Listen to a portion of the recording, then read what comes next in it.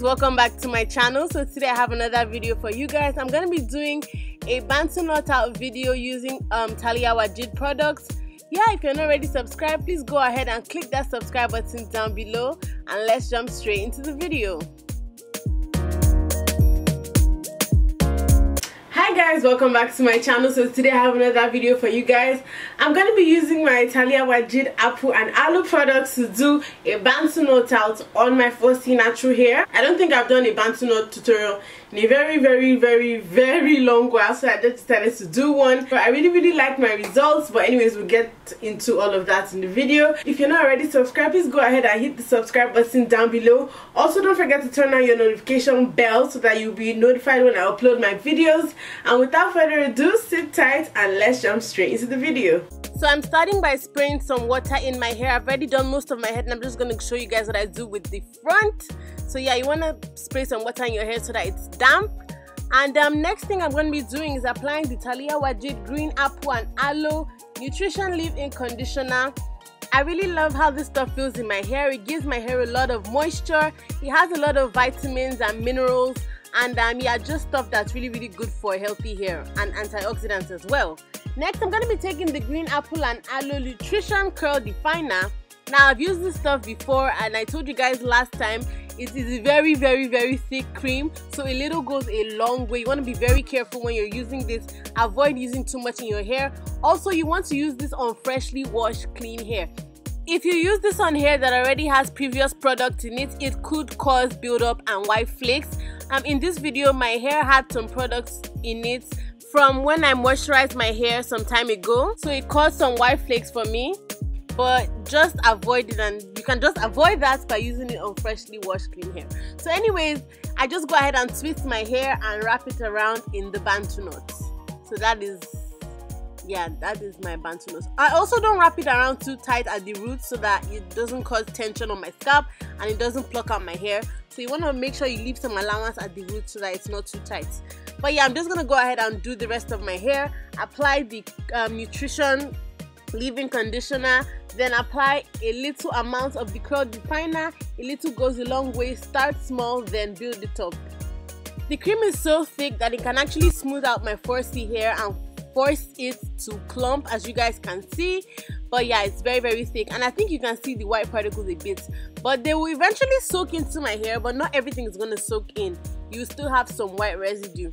Like i said just use it on freshly washed clean hair to avoid that problem. So i'm just giving you guys a quick length check of the middle of my head. Da, da, da, da. yeah so for the last portion i'm doing the same thing apply my water apply the leave-in conditioner then apply the cream the curl defining cream I decided to split that portion into two because it was a bit thick.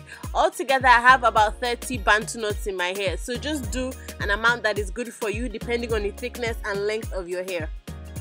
You also want to make sure that it is completely dry. I leave mine overnight so that it dries thoroughly.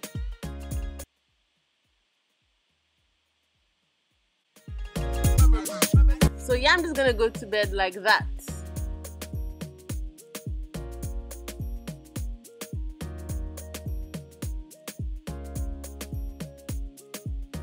So the next day, time to take down my hair. I, like I said before, make sure that your hair is completely dry I'm to be taking the Protective Styles Bamboo and Coconut Milk Growth Oil as um I'm just gonna rub that into my hair so that when I'm taking out my hair it doesn't have frizz. It has a very very nice lemony scent. So I'm just checking if everything is dry and yes it is so I'm just gonna go ahead and take down all the knots.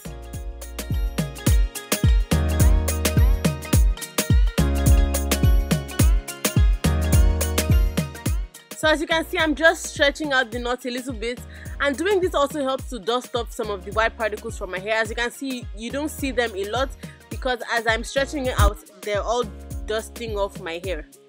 So that's another thing you can do if you have white particles. Just shake up your hair a bit dust it off and it will all fall off.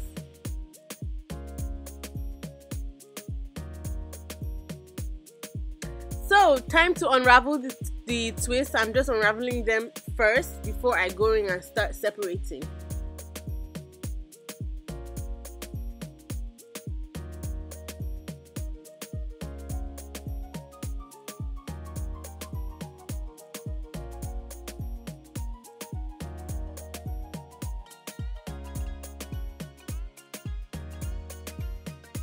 so this is what my hair looks like when I've just unraveled. I haven't fluffed. I haven't separated yet. This is how it looks. Now if you want to wear your hair um, if you want to wear your hair up you don't want to wear it down you can actually just stop right here and pack it up. It will look so so nice especially with all the definition and everything. But I'm going to go ahead and separate because I am trying to wear my hair down. So yeah sometimes I actually just leave my hair like this and style it. But like I said for this video I'm going to separate so I'm going ahead to separate just basically taking a piece and splitting it into two where it naturally wants to separate. Your hair is very detangled before you do the bantu knots this would be this separation process will be very very easy. As you can see separating brings some frizz but if you separate carefully you'll be able to minimize your frizz.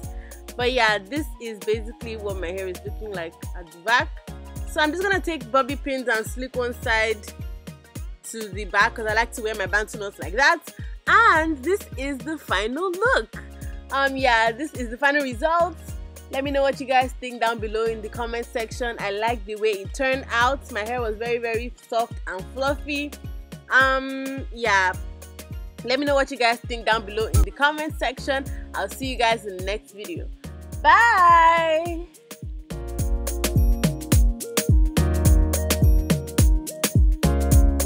okay so thank you guys for watching i hope you guys enjoyed the video let me know what you guys think down below in the comment section don't forget to like comment subscribe and share all the products I use are from Taliah Waajid and they will all be down below in the description box. The lashes I'm wearing are from Leilano Beauty, www.leilanobeauty.com. It will be on your screen. They're having a 20% off Halloween sale. All the information will also be down in the description box, so please make sure you check that out. Yeah, don't forget to like, comment, subscribe, and share. Turn on your notification bell so that you'll be notified when I upload my videos. Because a lot of people have told me recently that my videos aren't showing up. I don't know what's going on with YouTube, but that's besides the point but yeah just turn on your notification bell you can subscribe to my channel by clicking the subscribe button down below or my face on this side also do not forget to watch my other natural hair videos on this side. I'll see you guys in my next video. Bye